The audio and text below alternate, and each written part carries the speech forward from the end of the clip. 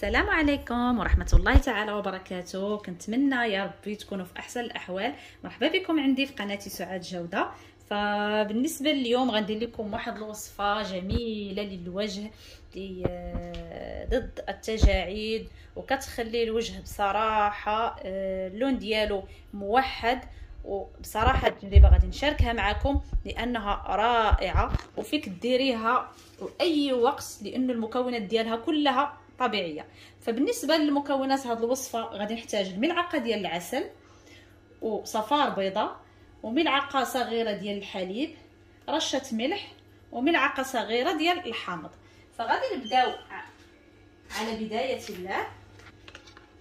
كما قلت لكم عندي ملعقة ديال العسل. ومن الأحسن إلا كان عندكم كاع العسل الحر يكون أحسن. كيف ما كتعرفوا المنفعة ديال العسل الحر للوجه رائعة. غادي نزيد رشة ديال ديال الملح. غادي نزيد صفار ديال بيضة واحدة. وغادي نضيف ملعقة صغيرة. ديال الحليب.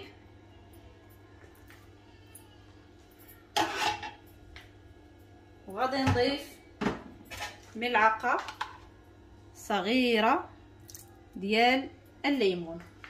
فكيف كتشوفوا هاد المكونات اللي عندي راه الوصفة ما نعاودش لكم كي كتجي رائعة والنتيجة ديالها الهائلة.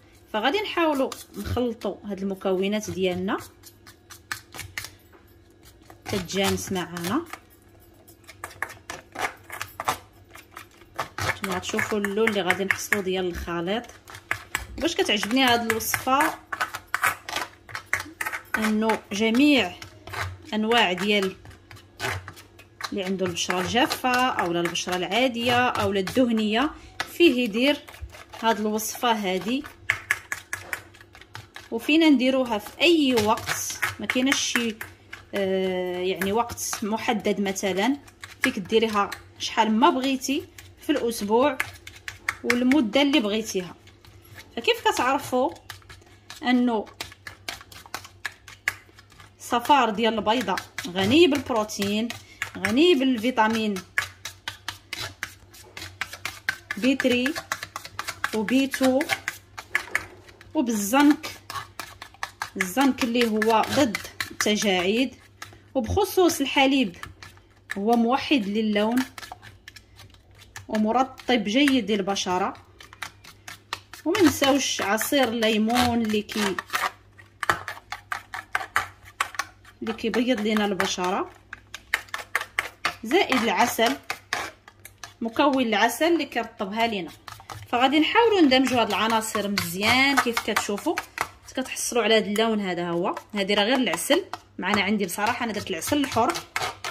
إلا ما عندكمش فيكم تشريو نوعية زوينة ديال العسل.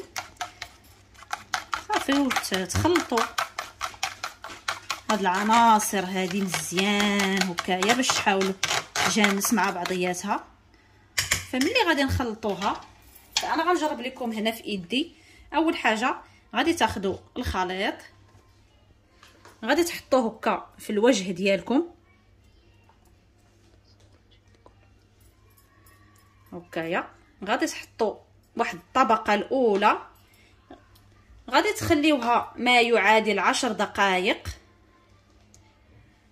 غتركوها حتى تنشف. ملي غادي تنشف غادي تضيفوا طبقة ثانية.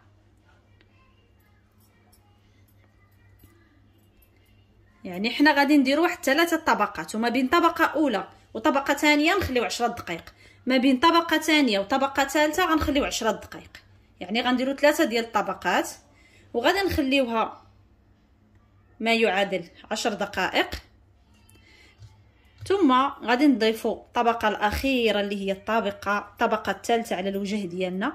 فنحاولوا نديروا على الوجه ديالنا كله ما عدا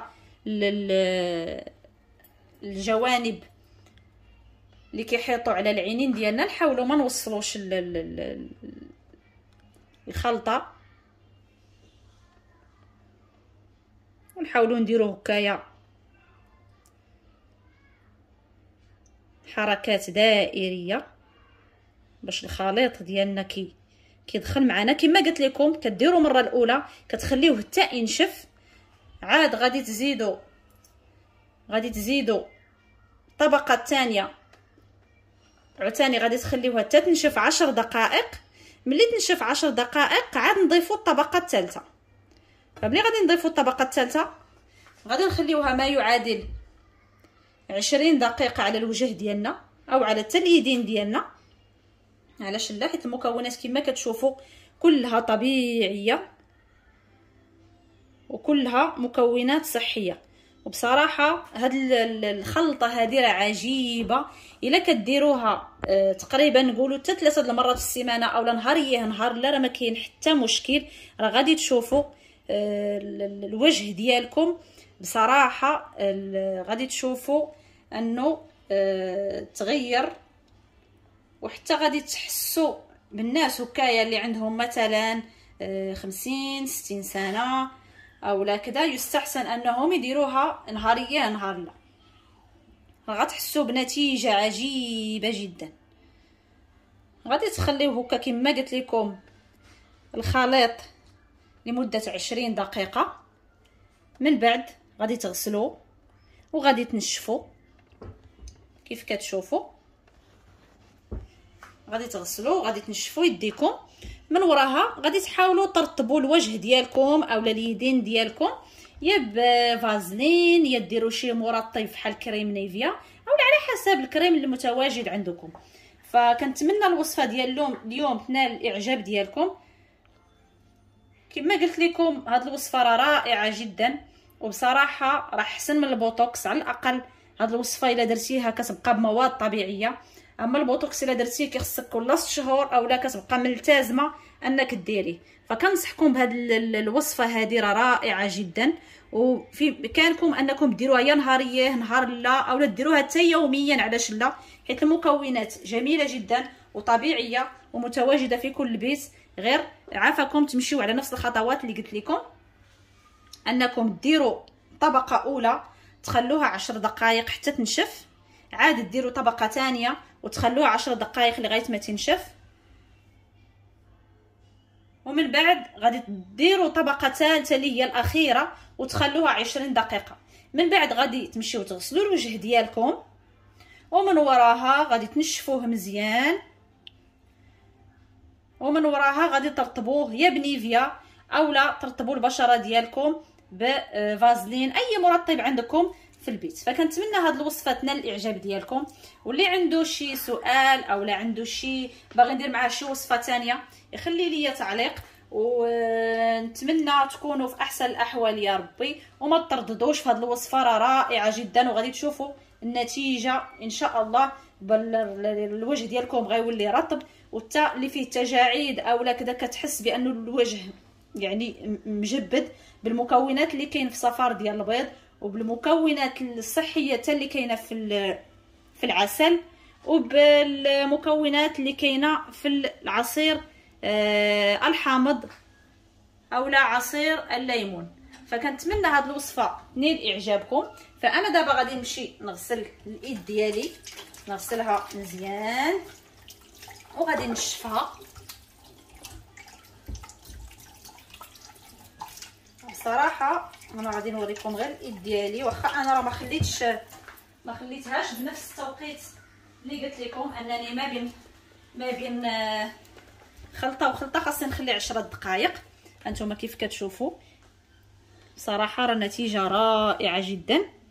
فكنتمنى تجربوا هذه الخلطة هذه راه رائعة ومكونات طبيعية وجميلة جدا. فإن شاء الله بإذن الله تعالى ما تنساونيش من اللايكات ومن subscribe وكنتمنى هذه الخلطة تنال الإعجاب ديالكم. و... واللي عنده شي سؤال يخليه لي في ال commentaire وإن شاء الله نتلاقاو في وصفة ثانية أو زيارة مكان جميل.